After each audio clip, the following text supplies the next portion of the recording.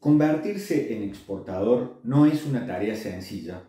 pero hay que prepararse para poder responder rápidamente a las oportunidades que el mundo nos plantea. En general, los propietarios o las personas en la alta gerencia de las empresas son las que establecen las prioridades y deben transmitir el deseo de exportar para contagiar una actitud proactiva a los empleados hacia la exportación y así aprovechar el talento de las personas en todas las áreas de la empresa.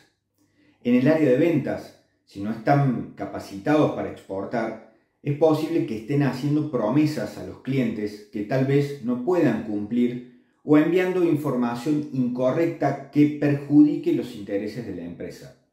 Deben contar con especificaciones técnicas de los productos y las limitaciones también técnicas que pueden tener para su venta en ciertos países saber de los Incoterms 2020, que es la última versión, que determinan las responsabilidades del exportador y el importador y los costos que les corresponde a cada uno,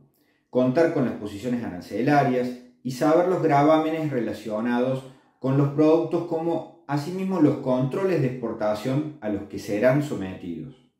saber cómo cobrar, qué medios de pago internacionales pueden usarse, en qué moneda lo van a hacer y cómo cargar esa información en el sistema contable que tienen. El área logística, que no solo comenzará a mover más productos, sino que se enfrentará a nuevos desafíos que probablemente no estarán preparados sin la capacitación correcta. Deberán coordinar y utilizar vías y métodos de envío que no han utilizado antes, cada una con sus ventajas y desventajas,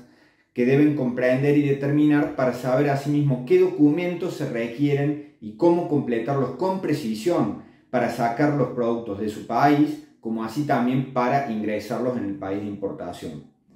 Todos y cada uno de los que participan del proceso de exportación, incluso en la parte más remota de la empresa, deben comprender claramente cómo sus trabajos influyen en que el proceso tenga un resultado exitoso